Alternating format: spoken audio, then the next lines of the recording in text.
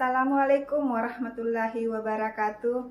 Perkenalkan, nama saya Siswati SPD. Saya mengajar di Sekolah Dasar Negeri 059 Sabura, Kecamatan Bulo, Kabupaten Polewali Mandar. Menjadi seorang guru adalah sebuah cita-cita yang sangat mulia. Guru haruslah bisa menjadi teladan, model, dan inspirator bagi siswa dalam mewujudkan perilaku yang berkarakter. Mari terus belajar dan berinovasi dalam meningkatkan pembelajaran yang lebih baik dan menyenangkan. Wassalamualaikum warahmatullahi wabarakatuh.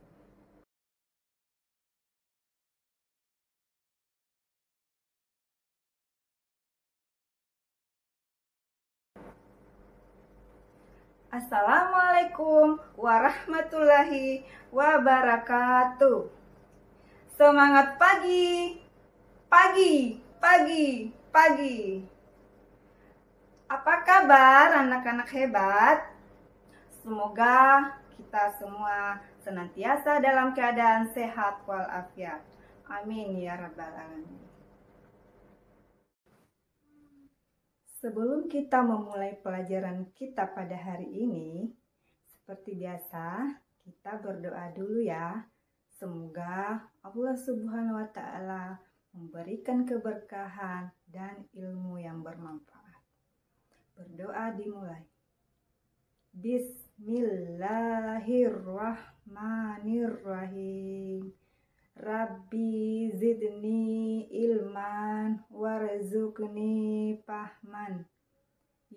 Allah, tambahkanlah ilmu kami dan berikanlah kami pemahaman yang baik. Dengan namamu ya Allah, kami belajar. Amin ya Rabbal Alamin.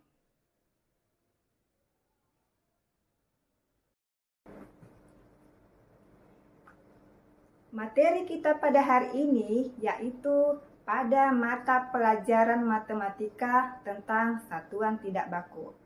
Adapun tujuan pembelajaran yang ingin kita capai yaitu yang pertama, melalui penjelasan guru, siswa dapat mengidentifikasi contoh satuan tidak baku dengan benar. Yang kedua, setelah memperhatikan contoh, siswa dapat mengukur panjang suatu benda dengan menggunakan satuan tidak baku dengan benar.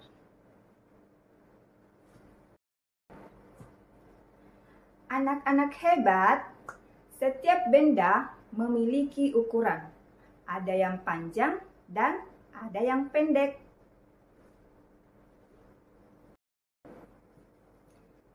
Dalam kehidupan kita sehari-hari, kita menemukan pengukuran suatu benda yang dikenal dengan satuan baku dan satuan tidak baku.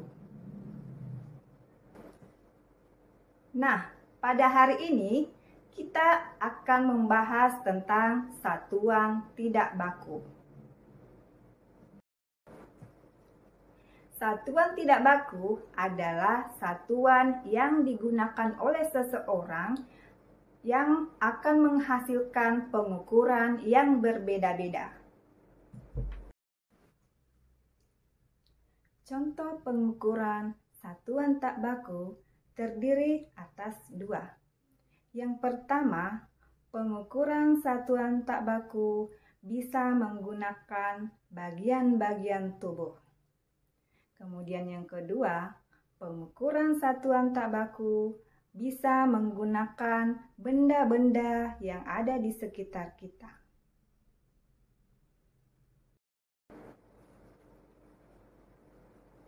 Contoh satuan tidak baku bisa berasal dari tubuh kita. Yang pertama contohnya adalah jengkal.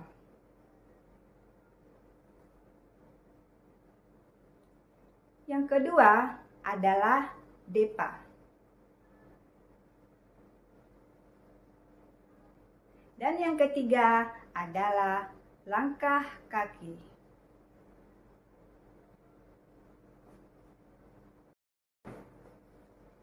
Contoh satuan baku yang lainnya bisa berasal dari benda-benda yang ada di sekitar kita. Misalnya, pensil, pulpen, dan korek api. Sebelum kita lanjut, mari kita bertepuk semangat dulu ya. Ayo, agar kita lebih semangat lagi. Tepuk satu. Yes. Tepuk dua. Oke. Tepuk tiga. Semangat. Tepuk empat. Konsentrasi. Tepuk lima. Ayo. Tepuk semangat. Se. Ma. Ingat, semangat. Ya, terima kasih.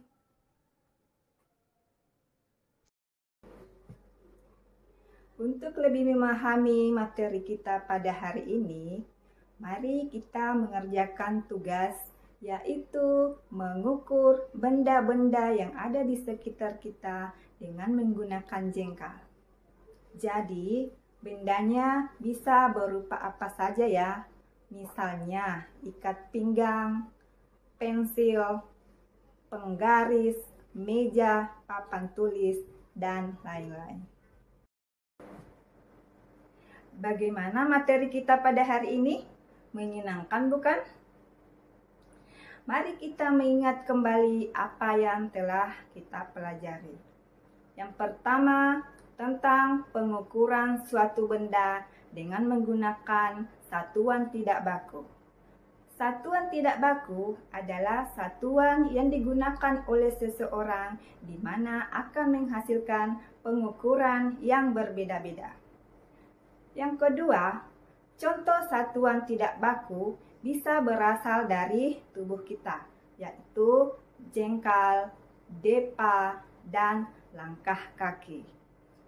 Contoh selanjutnya bisa juga berasal dari benda-benda yang ada di sekitar kita. Misalnya pensil, pulpen, dan korek api.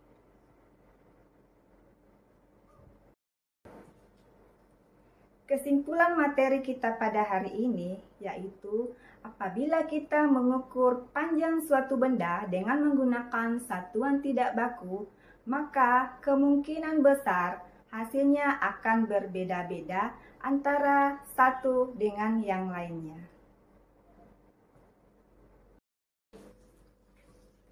Sebelum kita menutup pelajaran kita pada hari ini, mari kita menyanyikan lagu Satuan Tak Baku. Kita nyanyi sama-sama ya. Pengukuran benda ada dua cara Satuan baku Satuan tak baku Satuan baku Jengkal depa langka Pensil, pulpen, dan korek api. Ya, sekali lagi ya kita sama-sama. Pengukuran benda. Ada dua cara. Satuan baku, satuan tak baku. Satuan tak baku, jengkal depa langka Pensil, pulpen, dan korek api Terima kasih. Demikianlah pelajaran kita hari ini.